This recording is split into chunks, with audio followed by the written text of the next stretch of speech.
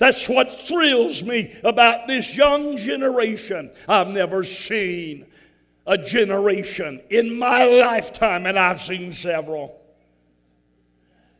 I've never seen a generation of young people that are so passionate for God. Never, never. That's why God has told me in this Caleb season of my life that I'm to go across this nation and world and pass the torch, the mantle to the next generation. He said they should not have to start where you started.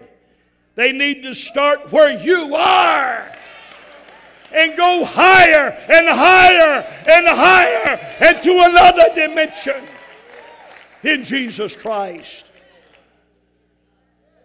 I believe that there are two paradoxes happening parallel in our generation. And I'm going to talk about them. But this young generation is tired of going to church and sitting there going through the motions without seeing a manifestation of God.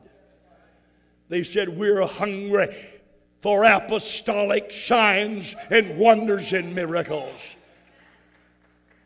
Our fathers talked about what God used to do. We want to see God manifest His power and His glory in this generation. And if that's your desire, put up your hand as high as you can and shout hallelujah.